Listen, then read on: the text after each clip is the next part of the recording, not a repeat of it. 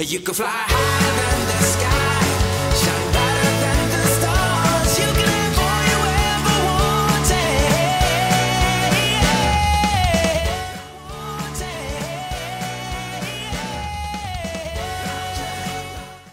Hello and welcome. Thank you so much for watching. This show is all about giving you insights and showcasing brands that help you to live your best life and give you confidence. As always, I want to kickstart your morning with some motivational advice to help you to feel inspired and energized to start your day. Today, I want to talk about the importance of understanding why the timing will never be right. Take action regardless. The truth of the matter is, there is no ideal time to do anything in life. Life has a way of constantly being perpetually filled with work, family, social activities, errands, the list continues. Oftentimes, we keep telling ourselves, I'll start tomorrow or next week when I'm less busy. And guess what happens? Your calendar keeps filling up and you continue to stay busy for months and years to come. Successful people understand this one important principle the time will never be right or ideal. They promptly take action on their goals or desires, despite their busy schedule, and don't let excuses get in the way of achieving their goals. The reality is, if you want something bad enough, you'll find time to make it happen, regardless of how busy you are. The next time you find yourself procrastinating or waiting for your schedule to be ideal in order to take action on an important task or something you've dreamt of, remind yourself that the time is now to make it happen. As the saying goes, tomorrow never comes, it's always today. Stay tuned. Coming up after the break, For our viewers that don't know what TIFF is, what is it and you know what does it mean to the city of Toronto? Well, it's one of the largest festivals, film festivals in the world, and it's actually the largest public film festival in the world. So when you think about the largest, which is probably Cannes, um, Toronto is right up there. Uh, the Cannes Film Festival isn't a public festival, whereas Toronto is, and so it's it's accessible to everyone. We get over 700,000 uh, people that come to the city to attend the film festival, which is pretty uh, exciting. And I think it's one of the only fil- film festivals of its size where you have the Q and A's during the premieres. Mm. So it's pretty cool. You have the talent that comes in. You get to ask questions uh, during the screening, and sometimes, and I would say even most of the time, the films aren't even completed yet. Mm. And so it's kind of cool to be able to to see that. And then from an economic perspective, I mean, I think it brings in um, about $200 million um, to uh, the city uh, during that, you know, 10, 11 day time frame. So it's, um, it's very important, uh, certainly from an economic standpoint. Wardrobe provided by H&M. Next on the show, we have Toronto business mogul Natasha Koifman Hendricks, who leads one of the leading PR companies in Canada, NKPR. With over 20 years of experience in celebrating the Toronto International Film Festival through various events and PR initiatives, she joined us today to discuss what we can expect from this year's TIFF Festival. Natasha, thank you so much for being on the show today. How are you doing? I feel great. I feel energized and exhausted all at the same time. oh my gosh, I can imagine you're a very, very busy woman. I mean, TIFF is just around the corner, so it's going to be crazy. I can't even believe it's September already. But, you know, for our viewers that don't know what TIFF is, what is it? And, you know, what does it mean to the city of Toronto?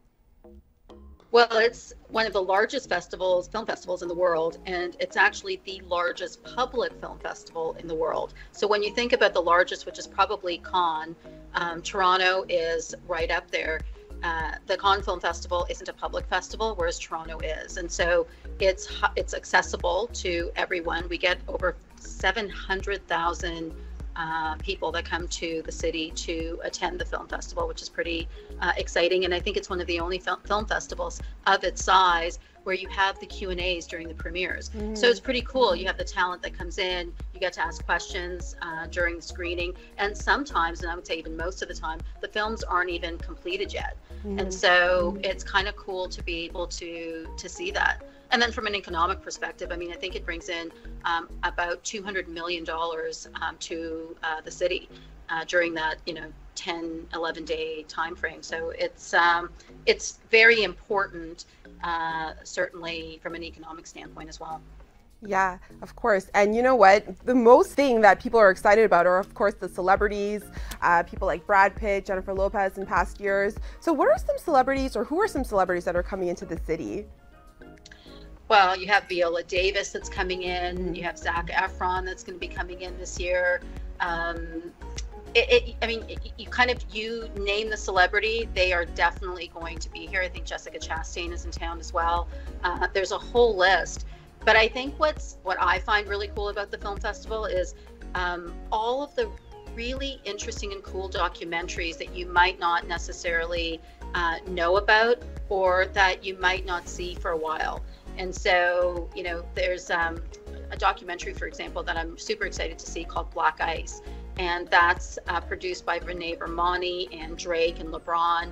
And so you have these huge names and, and powerhouses um, that are, you know, coming together to create something that's, you know, super meaningful and, and, um, giving us an opportunity to get, get a glimpse into history. And so it certainly it's about like the really big names, but it's also about, um, you know, the directors, producers uh, that are trying to put a work, a piece of work out there uh, that will become, you know, part of um, history.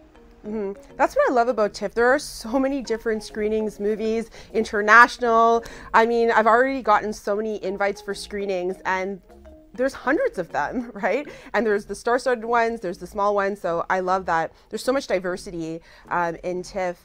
And you know, your PR agency hosts so many star-studded events from Artists for Peace and Justice, uh, Best Buddies Gala. There's so many. So what is your favorite event and why? well, ours, um, I, I, would say, I, I, mean, there's so many. I am really excited about the Toronto Life um, Hello Party. That's sort of the kickoff to Film Festival, which is happening on the Thursday night, this September 8th. And um, you're going to see sort of the best of Canadiana at uh, that event. I'm looking forward to obviously Artists for Peace and Justice. That's an event that we've been hosting now for uh, 14 years, and we've helped raise over $33 million uh, with that specific event because we started it during the Toronto Film Festival just before the earthquake hit in Haiti. Um, and we helped build um, uh, the first free high school in Haiti because of all the funds that are raised during that time. Um, and I'm excited. Uh, one of um, my dear friends Dax Dasilva has a film at the uh, has a film during the festival called Caught, um, and it's about um, us being mindful of what is happening in the ocean, and that we're basically, you know, in many ways, uh, by fishing and killing the fish in the oceans, we're actually um, killing the ocean and also um, ruining the environment. And so I, I think that, um, and I'm looking forward to that screening and looking forward to that event. And so I just think when I uh, think about the film festival and think about all the um, uh, events and films that are part of it, it's the really sort of meaningful ones that mm. I look forward to. Uh, because it's that opportunity to um, shine a spotlight on things that really matter uh, during mm. a time when there's this incredible lens on on our city and an incredible lens on um, on film. Mm-hmm. And, and speaking of meaningful, I know that Artists for Peace and Justice, um, you guys have raised over $33 million to date. Um, and as you said, it's not just about a star studded um, guest list, it's also about raising money for an important cause. So, why was this an important cause for you? And tell us a little bit more about it. So, Artists for Peace and Justice, we started, uh, like I said, 14 years ago. And it was before the earthquake hit in Haiti. Um, uh, a few of my celebrity friends had just come back from Haiti and they were telling me about, I was in LA and they were telling me about their trip. And they said, You won't believe it. There are families that are living on a dollar a day in, uh, in Haiti and it's so impoverished. And I had never heard that. And then the more they told me, the more I realized, wow, like Haiti is just two hours away from Toronto. It's the other side of the Dominican. And I just felt that, you know what, we should use this as an opportunity when we have all, you know, so much talent in the city uh, to fundraise. And so I did the very first fundraiser uh, that year. It was just before the earthquake hit in Haiti, and we barely raised fifty thousand dollars because most people didn't even know where Haiti was. Mm-hmm. Fast forward six months later, uh, the devastating earthquake that killed hundreds of thousands of people um, uh, hit Haiti, and we realized we need to do something. We need to do more. And so we did a fundraiser in Los Angeles just after the earthquake, um, and we raised just over four and a half million dollars. People like Nicole Kidman and Josh Brolin and Barbra Streisand, Demi Moore, Ben Stiller, Susan Sarandon, um, Madeleine Stowe, we all came together and we raised four and a half million dollars. And the first thing that we did was we bought land in Haiti um, and we partnered with St. Luke's Foundation. We built the very first free high school um, in Haiti because they don't have free education beyond junior high. And so we very much believe that in order to help the Haitian people help themselves, um, education was the way to go. And we um, we funded the school, and now you know. Uh, so many years later, we thought that we were going to have about 500 students in our school. We have 3,000 students in our school. We've had many graduating classes, and um, our signature event during the film festival is one of our biggest fundraisers where we have raised over 33 million and so uh, it's definitely an event i look forward to and this year we're honoring eric mccormack for all of his philanthropic work Hmm. um, you know most people remember him from will and grace um, but he's a, a canadian icon Mhm. and we're also honoring dax dasilva as a change maker um, because he's done so much for, for conservation and um, he just pledged um, $40 million to conservation projects uh, all over the world, and he's Canadian. And so we really want to use it as an opportunity. We use this event as an opportunity to highlight um, incredible um, humans, not just Canadians, but certainly both Eric and Dax are Canadian, um, and um, use them as examples of uh, people that are doing incredible work out there and giving of themselves to be able to create a better world. And um, uh, I'm excited for APJ uh, this year, and I look forward to it um, every year. hmm And this is off the topic of TIFF, but speaking of creating a better world, um, what I do love about you is that, you know, you attend these nice events, you host these nice events, but you're also about giving back to the community. I know you also have an ini- initiative called um, Acts of Kindness. So, so let's talk about that briefly.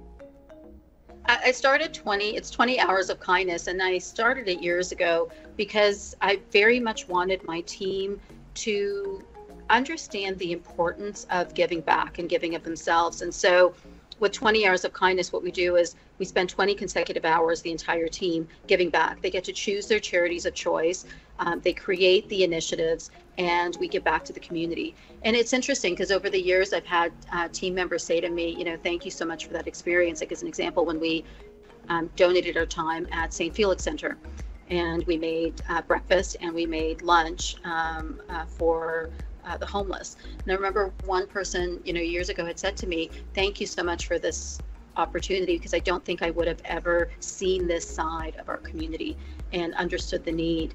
And um, since then, he's continued to volunteer there as well. And so that's why I started it. I just really feel that we should all want to leave this world a better place than we came into it, and we can't do it, you know, individually. We have to come together to um, make the impact that we want to see, and so that's why I created 20 Hours of Kindness. Mm, I love that. You know, I think that's so important about giving back um, and, you know, using your platform to inspire. I mean, that's why I created this platform is to inspire, to uplift, to showcase success stories. So I really like that. We're going to go back into that in just a little bit, but I want to talk about TIFF. I want to talk about, you know, your PR agency. I know that you guys host various events during TIFF. So what are some events that you guys are hosting this year? So, uh, Toronto Life Hello Party, like Mhm. I said, is one of the biggest um, events during TIFF. So, we definitely have that. I mentioned Artists for Peace and Justice Gala, which is always a hot ticket. We sold out of that event within the first 48 hours. Um, it's a very small, intimate um, uh, event with just over 100 people. Um, uh, Monday night we have Caught, which is with Dax Dasilva, and um, and honestly, this year I'm excited to see some movies.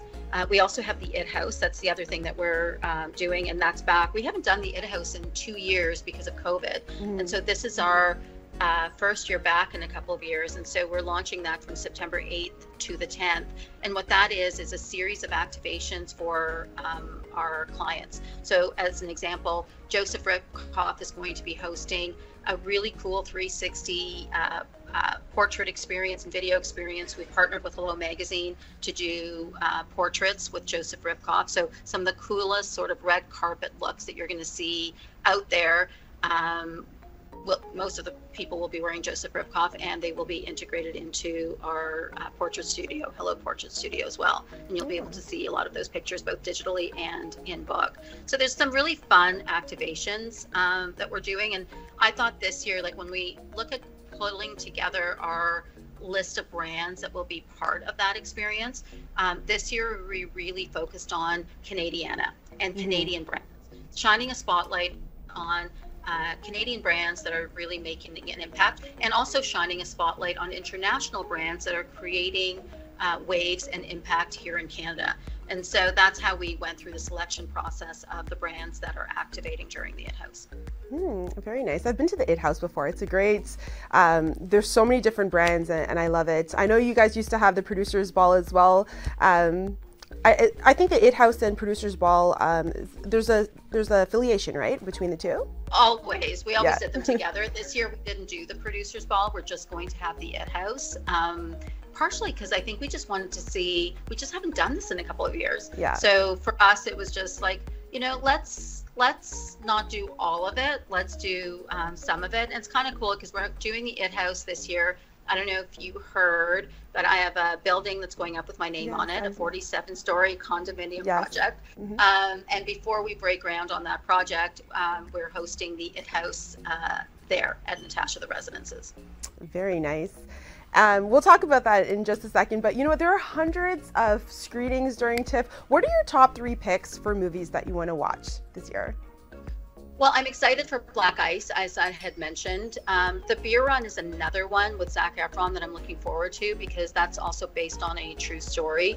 Um, and so, I mean, those are the big, uh, big ones that are on my list. I don't get to see a lot of movies during the film festival, but definitely those two. And Caught, I'm looking forward to seeing Caught. Um, uh, that's done by Age of Union.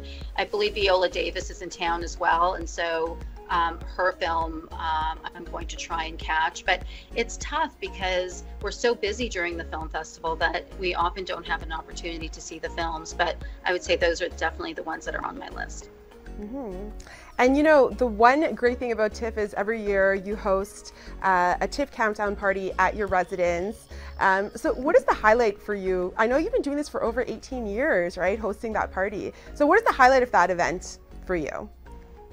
I think the biggest thing with that event that I love is watching everybody come together. Mm. Because once you're in the festival, like once it starts, we're all really exhausted and everyone's so busy. Like you were talking about all the red carpets that you're doing. Like Yeah. it's just a lot. And so that event is almost like the calm before the storm. Yeah. And so everyone's really excited to see each other. Um, it almost feels like the end of summer, you know, big TIFF uh, kickoff. So, and it was exciting this year, um, especially because we just haven't done it in a couple of years.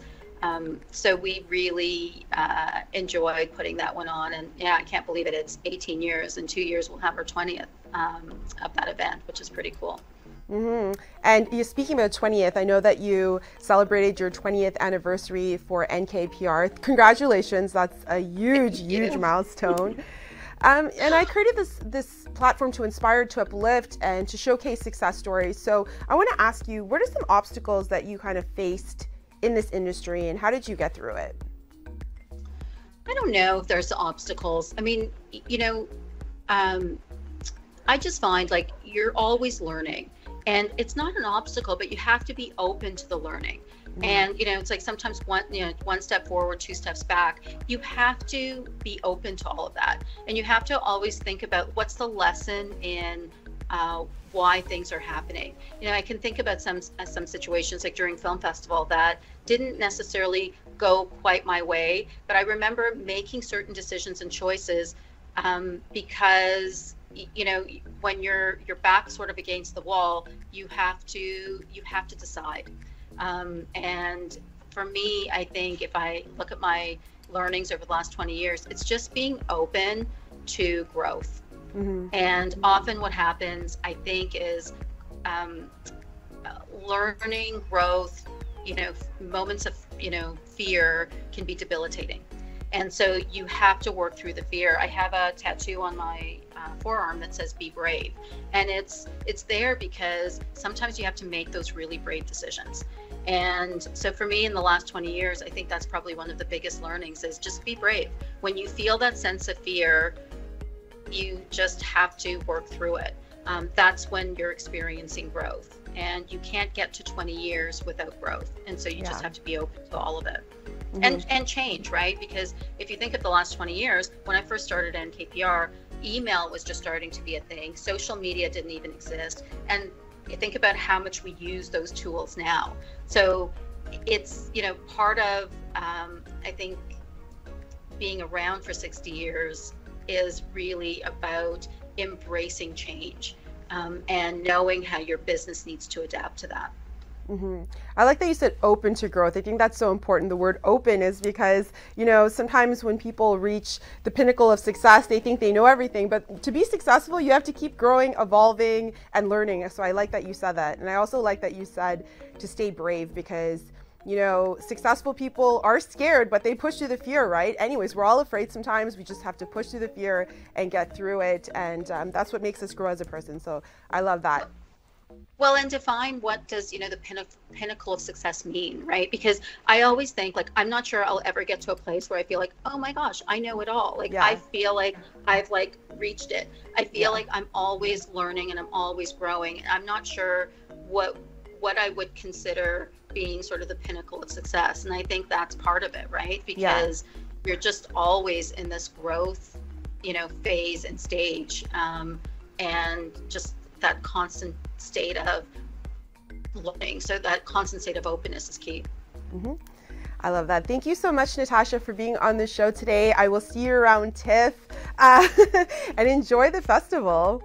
Thank you so much. Thank you for having me. Tag TV is available on Roku, Amazon Fire TV, Apple and Android TVs, as well as on Apple and Android phones. Watch us live through YouTube and Facebook. You can fly higher than the sky. Shine